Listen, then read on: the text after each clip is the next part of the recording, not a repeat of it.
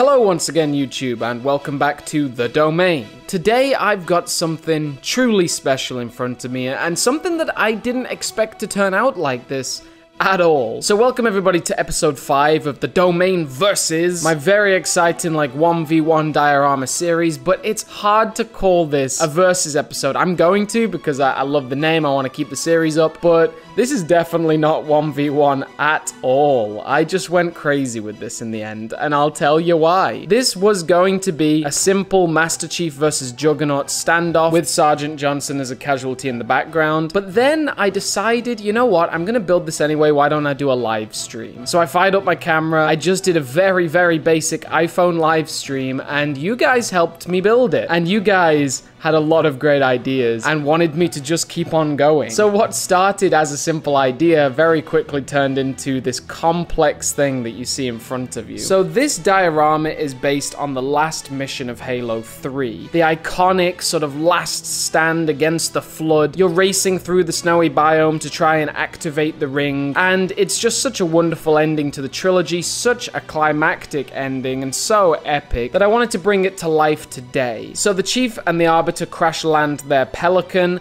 and they're fighting up that sort of long column like stairwell. It's it's like floor by floor you've got to work up to the control room and I wanted to do the ground floor. So we've got all this snow and this is sort of leveled up and mounded in big chunks. I go into full detail about how I make it. I mean you can watch me make it piece by piece in the live stream so I'd recommend you watching that. We'll start off you know we'll go figure by figure why not? So first of all we've got that Halo Hero Series 5 Master Chief. Just such an iconic figure. Absolutely beautiful. He comes with this flamethrower, which is brought to life in the most epic way. And he's accompanied by his Series 5 Johnson counterpart.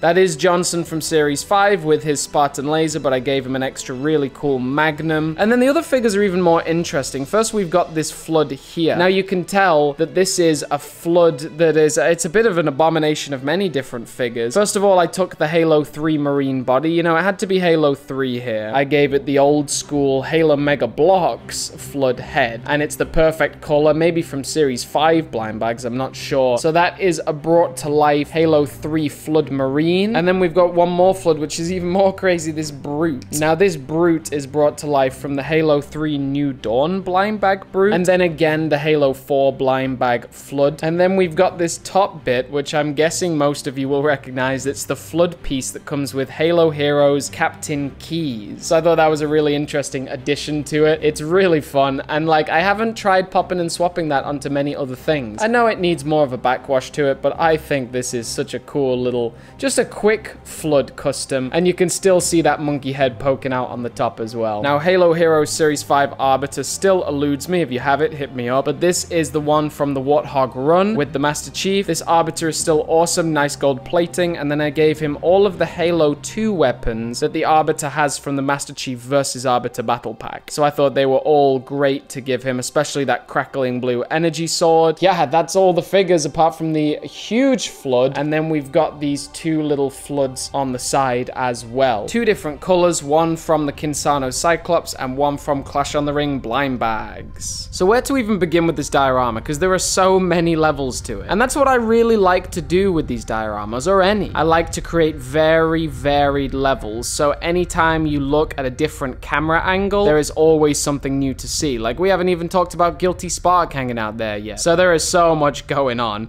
And I know there's some inconsistencies, like, yes, you couldn't drive a mongoose this part of the mm. mission. Though I guess you could after Johnson dies, so that's one thing. But yeah, I just, I absolutely love it. I love representations of any in-game cutscenes or levels, so I'm going to be doing a lot more like this in the future. I'd love to hear your suggestions. So the snow biome I layered really slowly, just carefully, using all the pieces to my advantage, because I don't have that many pieces in Hong Kong. That's the funny thing. Like, this was done pretty much with, like, bare necessities. Like, this was pretty much made with all the pieces I had, so I'm really impressed with, like, how much I could spin everything out. That structure itself is a little bit fragile, but I actually secured it in a really nice way, and I think it's also great when I can use studs, so the figures aren't just held on by blue tack. It's much nicer if they can be fastened on properly using blocks. So the Arbiter is already making good progress up the tower, but the Chief had to go back for Johnson, who fell against this Mongoose as a Flood tank form is about to take him out. But luckily, the Chief's coming in with a flamethrower, you know, I wouldn't be too worried if I was... Well, maybe I would be. He's... that Flood tank is pretty much in his face. But the Master Chief as well, I love that flamethrower. It adds so much of a, like, higher dimension to a diorama when you can have that flame, like, ripping out of the weapon. It's just so cool. And the Master Chief, he was originally looking at the Flood tank form, but his attention has now been brought to this Marine, and you can see one hand has already moved away from the flamethrower as he's going to go for his assault rifle. So it's an ever-changing environment, ever-changing situation. Yeah, we're going to take it apart a little bit so I can show you the inner workings of this diorama, then put it all back together again. Alright, so here we are, the bare bones. First of all, this Guilty Spark, I always like to try and find some easy place to insert a rod. In this case, it was the top of the Mongoose. And yeah, the Mongoose is also a great feature. What I wanted was, because this is all snow, I wanted the Mongoose to have screeched to the side, slammed into a rock, and then grounded itself. And I wanted all these mounds of snow to sort of represent kicked up snow. They've sort of all been piled at different levels, and that also invites this body to sort of just easily slot in there. And then I wanted just a wheel. I tacked that to the side. And I also wanted to make sure it was mostly snow and mostly sort of ground and dirt. I layered two dirt base plates of different colors on the top of the green. This was originally like a big green base plate, but that doesn't matter. Like it could be freshly fallen snow, especially with the biome changing all the time from the halo array being like constructed. Could have been new fallen snow on top of grass, so that's what I went with. And I wanted the mongoose to have sort of kicked up even the grass level and left some bare dirt